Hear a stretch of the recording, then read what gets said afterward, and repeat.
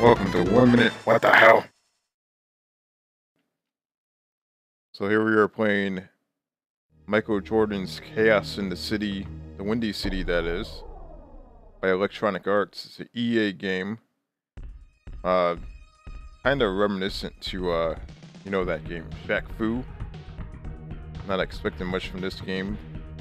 Exactly what comes to mind is Shaq Fu. Never really played this game before. Let's check out the option menu. Yeah, see there's a difficulty. There is pretty much the whole rundown on how to play this game. Here we have some sort of a comic strip. Actually looks pretty cool. And we have some sort of map. Sort of looks kind of like Shaq Fu type of deal right here. And uh have no idea what the hell that is. So It almost looks like a level layout.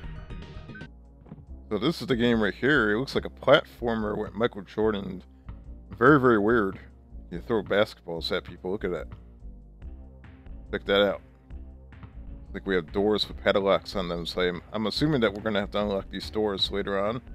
Yeah, there's actually a pair of keys up here. If you push up. Nope. Here, oh, there is a button that unlocks these doors. It's actually pretty cool. We have some crazy looking enemies. It's like a spider. Hate spiders. So it looks like you can actually dunk inside these damn things. Yeah, the zombie with a basketball head. That was pretty damn strange. Look at that. So far, the game is actually not that bad, for as I can see. Yeah, let's see if we go down here. We have another padlock. And uh, it looks like a fellow basketball player right here. You can actually talk to him. Look at this. It's like an RPG type thing. So the game does appear to be a little tacky and kind of lame a little bit, but the gameplay so far is actually surprisingly it's not really that bad. I guess we have a green key, so assumingly I think it's gonna go in this little keyhole right here. Jump up on the platform. That thing is creepy as hell probably one of the scariest SNES characters I've ever seen. So you can see there, there's a net. You can actually jump up. And uh, let me see if I can do this correctly. And dunk your basketball right in the net, which is actually pretty cool. And now I got the gold key, so now you can actually unlock all these uh, doors that weren't previously unlocked. I think down here there's a golden door right here. You got these bats that attack you also. They're a little bit smaller, so they're a little bit more difficult to hit. And whatever that is down below, that especially with that web and everything. Oh man, that's scary looking.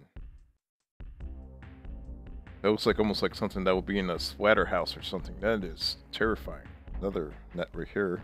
I think that's probably the coolest part of the game is it's like a basketball game, but you don't have to worry about actually playing basketball. You can just slam dunk things right there, just like that.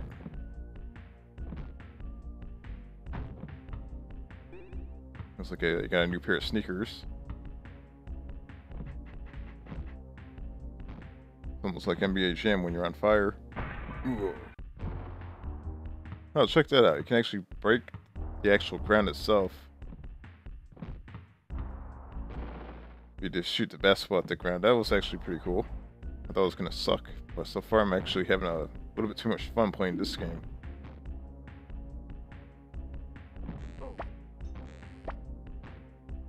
What the hell, you son of a bitch.